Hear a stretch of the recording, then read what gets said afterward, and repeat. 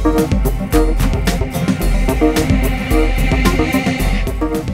everybody, Brick Lover 18 here today with another episode of Brick Lover 18 Asks You, episode number 13. Last week I asked you if you had been to a LEGO convention, if so, which ones, and what did you think of it? Brick Logic Studios says, I go to Brick Fair, Alabama every year in Birmingham, Alabama. I went first in the opening year in 2012 as a public attendee, then exhibitor the next year of 2013. I was very nervous. Next January is my third exhibitor year. Maniac for Brick says he went to Brickfest Live in the New Jersey area. He enjoyed the convention, the activities for kids and adults, and he got to meet Clutch, YCF, Carter Baldwin, Cookies Bricks, TMX Brick Notes, and Ryan and uh, Brick Warriors. He remembers building mosaics in the log cabin to contribute to all the, activities and conversation, and he would like to attend again. Three Brick Friends has just been to the Western Brick Show in the UK. It's the only show they've been to so far. They a wide they said there's a wide variety of MOCs, some better than others, and it was great. XX XV Shadow Gamer VX has not been to a LEGO convention as he lives in Scotland and there is not many of them. Brick Adjuster says the only convention I have been to was BrickFest Toronto. I like seeing all the great MOCs there, plus the custom items for sale. I'm hoping to go back next year.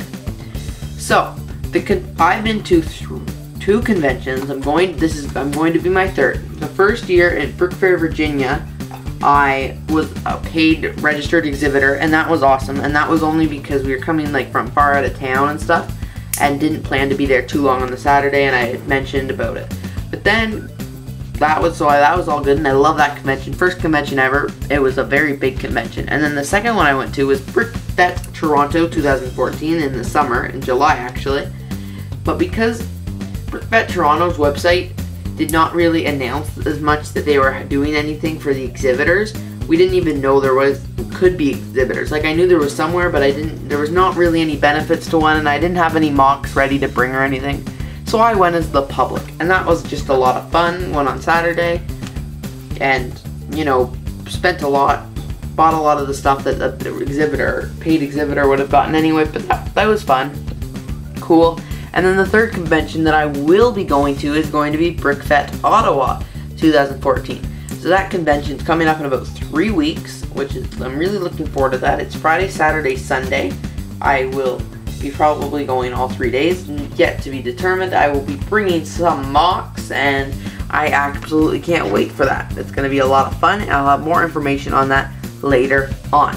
Now, that brings us to this week's question.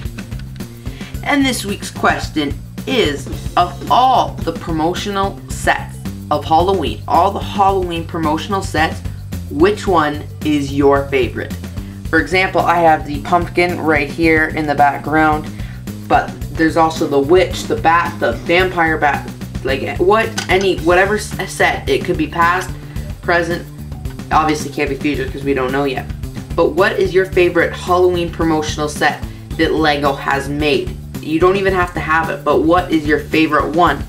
Please feel free to comment which one below. A year and a set number would be helpful, but you don't have to. So thank you for watching this video by Brick Lover 18. Don't forget to answer the question down in the comments below. Thanks a lot for watching and I hope you have a great day.